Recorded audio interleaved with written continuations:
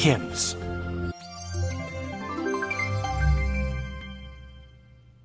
Hello and thank you for watching. I'd like to show you how to change a few speech and braille settings on your braille sense. The speech settings, the voice rate, pitch, and volume are all, are all changed using function keys 1 and 4 in conjunction with the backspace, the space, or the enter key. For example, to turn the volume up and down, you use function keys 1 or function key 4 in conjunction with the backspace. To turn the volume down, I would press function key 1 and the backspace. Voice volume 9. Voice volume 8. And the volume is going away. Voice volume 7. To turn the volume up, I'm going to move to function key 4 and press with the backspace. Voice volume 8. Voice volume 9. Voice volume 10. The voice pitch works the same way, except that now, instead of using backspace with function keys 1 and 4, I'm using enter with function keys 1 and 4. To lower the voice pitch, I would press enter plus function key 1. Voice pitch 5. Voice pitch 4. Voice pitch 3. That sounds horrible. Now, to raise the voice pitch, instead of using enter with function key 1, I would move to enter with function key 4. Voice pitch 4. Voice pitch 5. Voice pitch 6. Voice pitch 7. Voice pitch 8. And now I'm going to lower it a couple to go back to sort of where I had it before with function key with function key 1 and enter.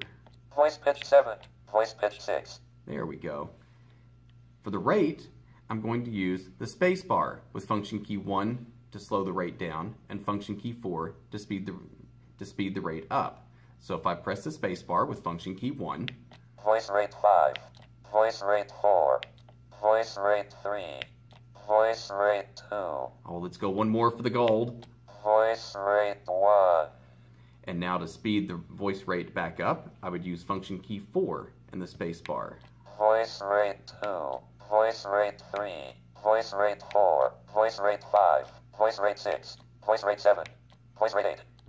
Voice rate 9. Voice rate 10. Voice rate 11. And it'll just keep going, and we're going to slow it down a little bit so that the visuals out there can actually understand it. Voice rate 10. Voice rate 9. Voice rate 8. Voice rate 7. Voice rate 6.